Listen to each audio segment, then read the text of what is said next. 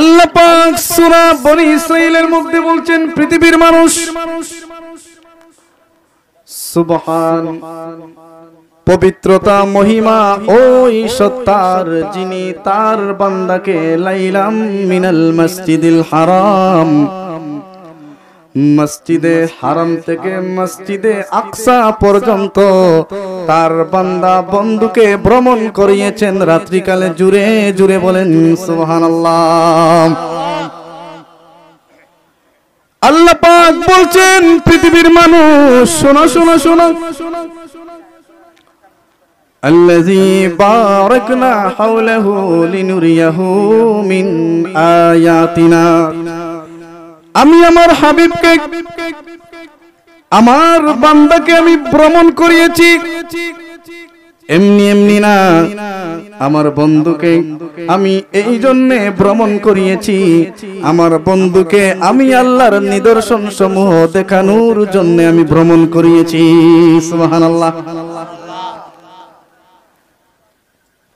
আমার যুবক ভাইয়েরা আমার পরদানসীন মা বোনেরা শুনেন শুনেন। আমার নবী কামলিওয়ালার শান শুনেন, পবিত্র রজবের মাস। আল্লাহ বলছেন, বন্ধুকে আমি দাওয়াত দিলাম। আমার বন্ধু তখন উম্মে হানির ঘরে ছিলেন সুবহান আল্লাহ কোন কোন বর্ণনা এসেছে? আমার নবী শিহাবে আবি তালিবে ছিলেন।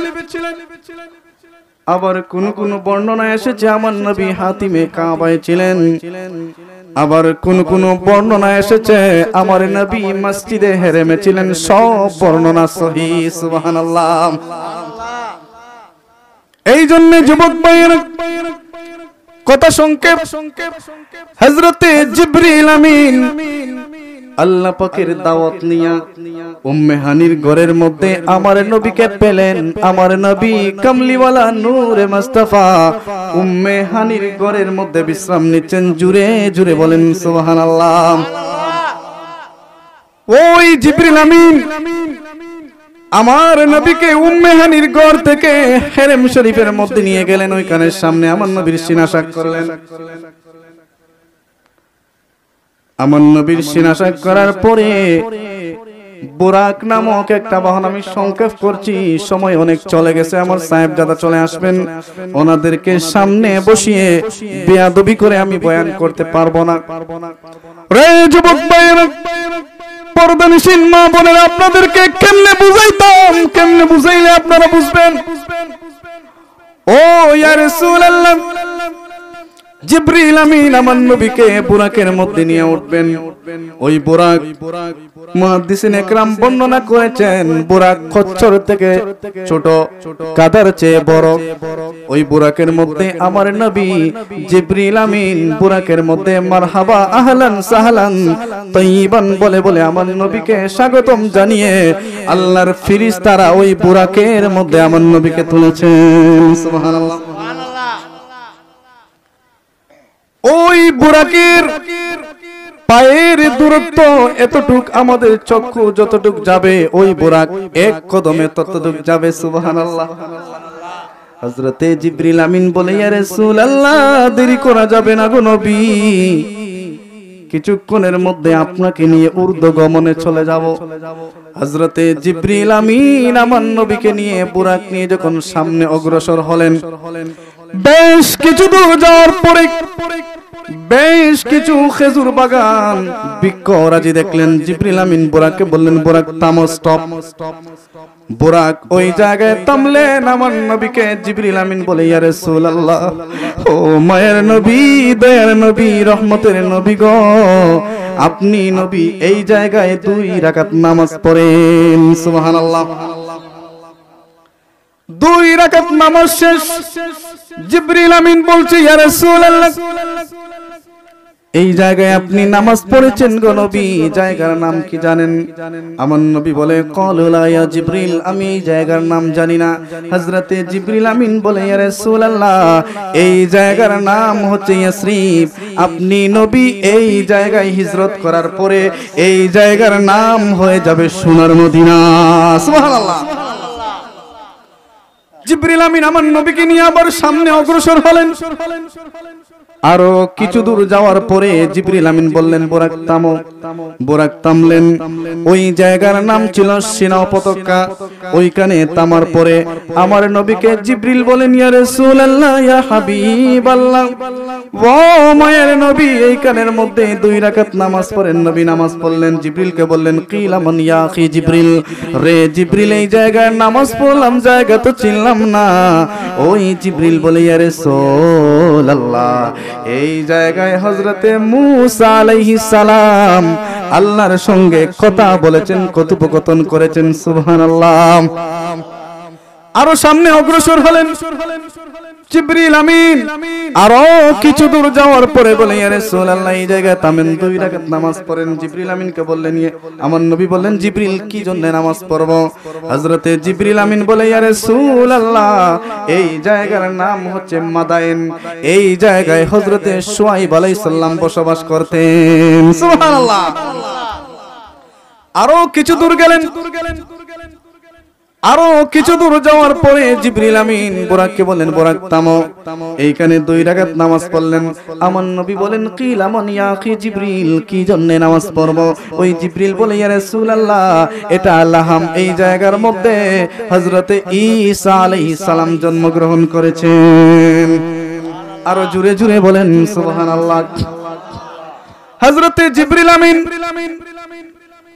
কিছুক্ষণ পর পর কিছু জায়গায় দাঁড়িয়ে আমার নবীকে দিয়ে দুই রাকাত নামাজ পড়ালেন। আল্লাহ তো বলে দিয়েছেন আল্লাজি বারাকনা হাওলাহু লিনুরিয়াহু মিন আয়াতিনা, ইন্নাহু হুয়াস সামিউল আলিম। আল্লাহু আকবার। জিবরিল আমিন, আমার নবীকে নিয়ে মসজিদে আকসার মধ্যে ঢুকবেন ঢুকবেন।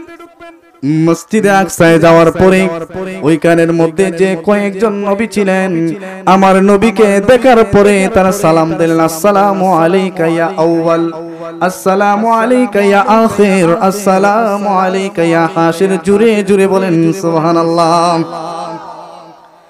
আমার নবী জিবরিল আমিন, আমার নবীকে নিয়ে মসজিদে মুকদ্দাসের মধ্যে ঢুকে গেলেন, আকসার মধ্যে ঢুকে গেলেন। হযরতে জিবরিল আমিন আমার নবীকে নিয়ে যখন মসজিদে আকসার মধ্যে ঢুকলেন, ওইখানে ঢোকার পরে একজন ব্যক্তি মুয়াজ্জিন হয়ে আজান দিয়া দিল। ওইখানের মধ্যে আজান হয়ে গেল। এক লক্ষ চব্বিশ হাজার পয়গম্বরের ওই মসজিদে আকসার মধ্যে যায় নামাজের মুসাল্লায় দাঁড়িয়ে গেলেন।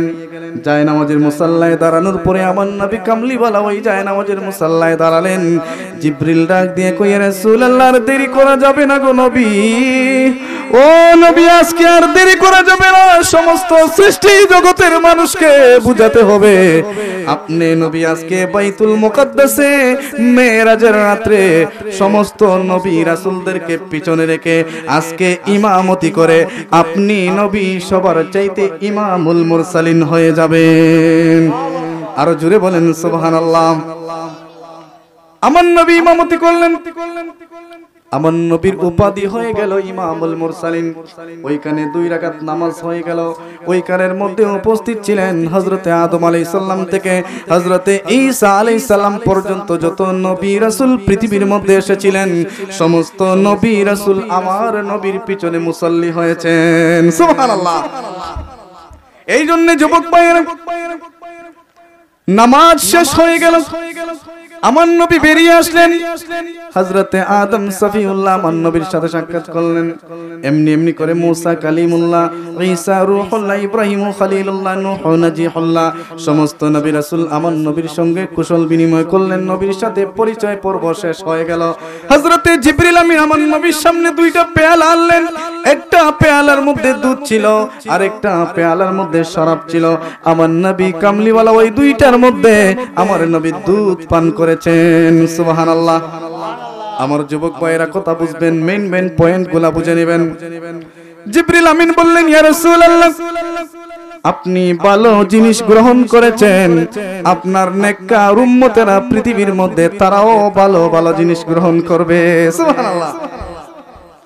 জিব্রিল আমিন আবার বুরাক্কি, ও ইউরদু আকাশের মধ্যে নিয়ে ছুটলেন। প্রথম আসমানে যাওয়ার পরে দার কি বলল, ইয়া আখি জিব্রিল, আপনি কি জন্য এসেছেন জিব্রিল? বলে, রে ফেরেশতা, শুনো শুনো শুনো, আমার সঙ্গে কাকে নিয়ে এসেছি? তুমি কি ছিল না? তুমি কি জানো না? ওই ফেরেশতা বলে, কাকে নিয়ে এসেছেন? ওই জিব্রিল বলে, আমার সঙ্গে রাহমাতুল্লিল আলামিন এসেছেন। আর জুরে জুরে বলেন, সুবহানাল্লাহ।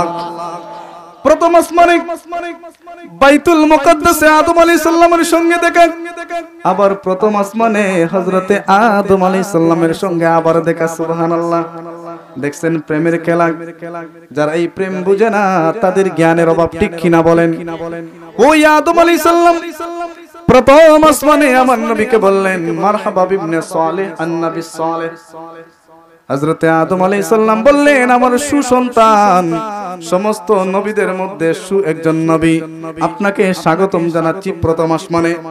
আদম আলাই সাল্লামের সঙ্গে কথা হলো সেই কথাও রেখে দিলাম। দ্বিতীয় আসমানে হজরতে ঈসা আলাই সাল্লাম ইহিয়া আলাই সাল্লাম ওনাদের সাথে কথা হলো তৃতীয় আসমানে।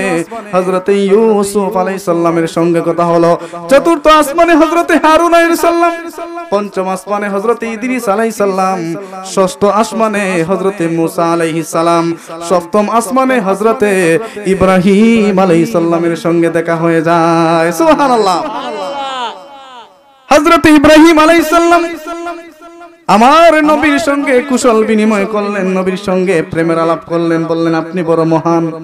আপনার ভাগ্য বড় ভালো। আল্লাহ পাক আপনাকে এমন একজন দুলহা বানিয়েছেন, এমন একজন প্রধান অতিথি বানিয়েছেন। সমস্ত সৃষ্টি জগতের মধ্যে যত নবী রাসূল এসেছেন, সমস্ত নবী রাসূল পৃথিবীর মধ্যে আল্লাহর সঙ্গে কথা বলেছেন। আর আমার আল্লাহ আপনাকে দুলহা বানিয়ে আল্লাহর আরশে আজমি নিয়ে যাচ্ছেন। সুবহানাল্লাহ। ওই বাবা ইব্রাহিম আলাই সালাম বললেন ও রাসূলুল্লাহ, শুনেন শুনেন। আপনি যখন চলে যাবেন পৃথিবীর মধ্যে যাওয়ার পরে আপনার উম্মতদেরকে বলে দিবেন, উম্মত রে উম্মত, শুনো শুনো। আমি বেহেশতের মধ্যে অনেক কিছু দেখেছি, মিষ্টি ফল দেখেছি, মধুর নহর দেখেছি। বেহেশতের মধ্যে সুপ্রিয় পানি দেখেছি, বেহেশত আমি ফাঁকা দেখেছি। পৃথিবীর মধ্যে যদি তোমরা নেক আমল করতে পারো, আমার আল্লাহ তোমাদেরকে বেহেশত দান করে দেবেন, সুবহানাল্লাহ। হযরত ইব্রাহিম আলাইহিস সালাম একটা দোয়া শিক্ষা দিলেন, বললেন, সুবহানাল্লাহি ওয়ালহামদুলিল্লাহ ওয়ালা ইলাহা ইল্লাল্লাহ আল্লাহু আকবার। সুবহানাল্লাহ। আমার মা বোনেরা গভীর মনোযোগ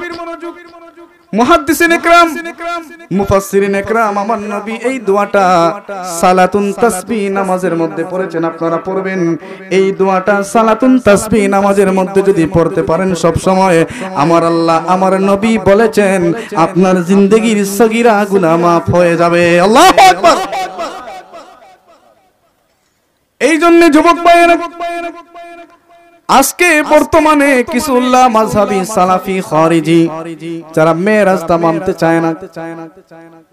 মেয়েরাজের কথা বললে তারা বলে নবী স্বপ্নে মেয়েরাজ করেছেন। তো আল্লাহ পাক সূরা নাজমের মধ্যে বলেন সুম্মা দানা ফাতাদাল্লা ফাকানা কাবা কাউসাইনি আও আদনা ফাআউহা ইলা আবদিহি মা আওহা। ওই আল্লাহ বলছেন আমার রাসূলকে আমি সশরীরে আমি আল্লাহ সাত আসমান, সাত জমিন পাড়ি দিয়া, সিদরাতুল মুনতাহা পাড়ি দিয়া, আমি আল্লাহর মাকান, আরশে আজিমের মধ্যে আমার নবীকে আমি দুলহা বানাইছি, সুবহানাল্লাহ। কি প্রেমের কথা বাবা? আল্লাহ বলছেন আমার নবী মেরাজ থেকে আসলেন। আমাদের দেশে কিছু আবু জেহেল্লা আছে ওর তারা ওলাদ। আবু জেহেল্লা যখন শুনল নবী বলতেছেন আমি গতকাল রাত্রে মসজিদে হারাম থেকে বাইতুল মুকাদ্দাস বাইতুল মুকাদ্দাস থেকে প্রথম আসমান সপ্তম আসমান সব পারি দিয়া সিদরাতুল মুনতাহা পারি দিয়া। আল্লাহর আরশে আজিমে গিয়েছি এই খবর। ওই মক্কার মুশরিক কাফিররা শোনার পরে তারা মানুষের কাছে বিভ্রান্ত চড়ালো বলল, মোহাম্মদ, মনে হয় মাথা নষ্ট হয়ে গেছে। এই মসজিদে হারাম থেকে মসজিদে আকসা পর্যন্ত যাইতে এক মাস সময় লাগে। ওই আবু জেহেল্লা, তার সঙ্গপঙ্গ শয়তান। ওই মুসবিলাই গুলা মক্কার বিভিন্ন গোত্রদেরকে বলতে লাগল, মোহাম্মদ, গতকাল রাত্রে মসজিদে হারাম থেকে মসজিদে আকসা পর্যন্ত গেছে, পাগল হইয়া গেছে। এই কথা তারা বলতেছে। রাস্তার মধ্যে হযরতে আবু রাদিয়াল্লাহু তাআলা নূর সাথে সাক্ষাৎ। ও আবু জেহেল্লা বললেন, রে আবু বকর শুনছনি তুমি? গতকাল রাত্রে তোমার নবী কামলিওয়ালা আল্লাহর সাথে নাকি দিদার হয়েছে? মসজিদে হারাম থেকে মসজিদে আকসা গেছেন, তোমার অভিমত কি? হযরতে আবু বকর ডাক দিয়ে কয়, আবু জাহেল রে, শুন শুন শুন। ওয়াল্লাহি তাল্লাহি বিল্লাহ, যদি আমার নবী কামলিওয়ালা ওনার নূরের জবানে এই কথা বলে থাকেন, আমি চক্ষু বন্ধ করে আমার নবীর কথা আমি বিশ্বাস করে নিলাম। সুবহানাল্লাহ। আজকে বাংলার জমিনে যে মুসবিলাইরা যে কুলাঙ্গারেরা আমার নবীর সশরীরে মেয়েরাজ মানে না, আমার নবীর মেয়েরাজকে অস্বীকার করে তারা নামাজকে অস্বীকার করল ঠিক কিনা বলেন? কারণ মেয়েরাজে তো আমার নবী নামাজ এনেছেন, চান্দু তুমি জানো না। তুমি কিতাব পড়ো নাই। যদি কিতাব না পড়ো, আমাদের কাছে আসো, না ওই ফুল তলিতে নিয়ে যাব, ঠিক কিনা বলেন? ও যুবক ভাইয়েরা ওই আবু জেহেল যখন আবু বকরকে বলল, তোমার নবী এই এই বলছেন মেরাজ করছেন। সিদ্দিক আকবর বলছেন, আমি বিশ্বাস করলাম। আমার নবী যদি বলে থাকেন, আমি সিদ্দিক আকবর চক্ষুটা বন্ধ করে আমার নবীর মেরাজ আমি বিশ্বাস করে নিলাম। সুবহানাল্লাহ। ওই জিবরিল আমিন দেরি করে নাই, দেরি করে নাই। সাথে সাথে জিবরিল আমিন আমার নবীর দরবারে এসে বলল, ইয়া রাসূলুল্লাহ, আপনার সিদ্দিক আকবর আপনার কাছ থেকে শুনে নাই। আপনি মেরাজ করেছেন, আবু জেহেল মুশরিকদের কাছ থেকে শুনেছে, সে বিশ্বাস করে ফেলেছে। আমার আল্লাহ আজকের পর থেকে আবু বক্করকে আর আবু বক্কর রাখেন নাই। আবু বক্করকে সিদ্দিক আকবর বলে উপাধি দিয়েছেন। আরও আসতে বলেন, সুবহানাল্লাহ। আরও জুড়ে জুড়ে বলেন, সুবহানাল্লাহ। ওই আবু জেহেল তার সঙ্গপঙ্গ মুসপিলাই গুলাকে নিয়ে আমার নবীর দরবারে হাজির হয়ে বলল, মোহাম্মদ, তুমি মসজিদে হেরেম থেকে মসজিদে আকসা পর্যন্ত গেছো। তুমি তালিল দাও। ও ইয়া রাসূলুল্লাহ, আমার নবী তখন চক্ষুটা বন্ধ করলেন। চক্ষুটা বন্ধ করে কিছুক্ষণ নীরব রইলেন। আমার আল্লাহ কিছুক্ষণের মধ্যে জিবরিল আমিনের মাধ্যমে আমার নবীর কাছে ওহী পাঠালেন, ফাজাল্লাল্লাহু ইলাল বাইতুল মুকাদ্দাসি, ফাতাফাকাত আন আখবির ওয়া উনজির ইলাই জুরে জুরে বলেন সুবহানাল্লাহ। ওই জিবরিল আমিন। আমার নবীর সামনে বাইতুল মুকাদ্দাসটাকে আয়নার মতো ধরে ফেলেছেন। আমার নবী ওই মক্কার মুশরিক মুসবিলাই কাফের গুলাকে ওই জিবরিল আমিন যেমনি করে বাইতুল মুকাদ্দাসটাকে ধরেছেন।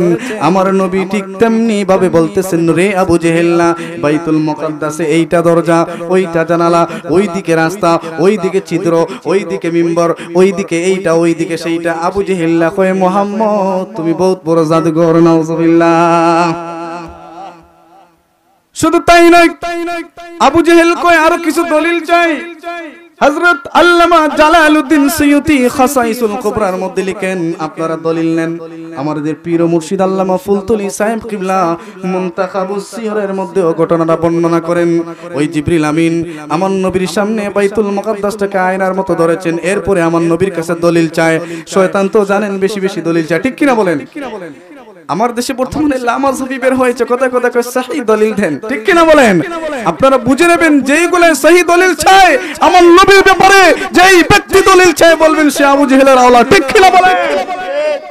আমার যুবক ওই আবু জেহেলের সামনে আমার নবী বলেন, আমি যখন বোরাকের মধ্যে ছিলাম, আমি যখন বাইতুল মুকাদ্দাসে যাচ্ছিলাম, আমি তখন দেখতে পেলাম তোমাদের গোত্রের কিছু দল বাণিজ্যের জন্য ব্যবসায়িক কাজের জন্য বের হয়েছিল। কিছুক্ষণ যাওয়ার পরে তাদের উটনিটা হারিয়ে গিয়েছিল। দু একদিন খোঁজার পরে তারা তাদের উটনিটা পেয়েছে। উটনিটা পাওয়ার পরে তারা তিন দিন পর মক্কার মধ্যে আগমন করবে। সুবহানাল্লাহ। আমার নবীর কথা যেমন কথা তেমন কাজ। তিন দিন পরে ওই ব্যবসায়িক লোকেরা মক্কার মধ্যে এসে আগমন করল। আবু জেহেল্লা কই মোহাম্মদ, এই এই বলছে, আসলে কি তোমাদের মধ্যে এটা ঘটেছে? তারা বলল, সাচ্চা ঘটেছে, সঠিক ঘটেছে, সুবহানাল্লাহ। এই জন্য যুবক ভাইয়েরা, ওই ইব্রাহিম আলাইহিস সালাম বলছেন পৃথিবীর মধ্যে যাওয়ার পরে আপনার উম্মতদেরকে বলে দেবেন, সুবহানাল্লাহি ওয়ালহামদুলিল্লাহ, ওয়ালা ইলাহা ইল্লাল্লাহ আল্লাহু আকবার। তারা এই তাসবিহটা যেন বেশি বেশি পড়ে। আমার নবী এই তাসবিহটাকে সালাতুন তাসবিহ বানিয়ে দিয়েছেন।